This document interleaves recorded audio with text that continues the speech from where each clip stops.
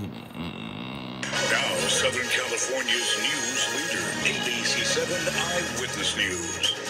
Now at 5, no annual Happy Labor Day symbol believed to be murdered. Many people escaping today's heat by heading to the beach, but even that won't be a relief by the end of the week. As families and the world mourn the deaths of six Israeli hostages, calls for a ceasefire are intensifying. Hello, I'm Jovana Lara. I'm Marc Brown. You're watching Eyewitness News at 5 live on ABC 7, Hulu, and wherever you stream. We begin with breaking news a brush fire we've been following right now in Irvine. Chris Cristi is live overhead. Chris. Hey there, Jovana.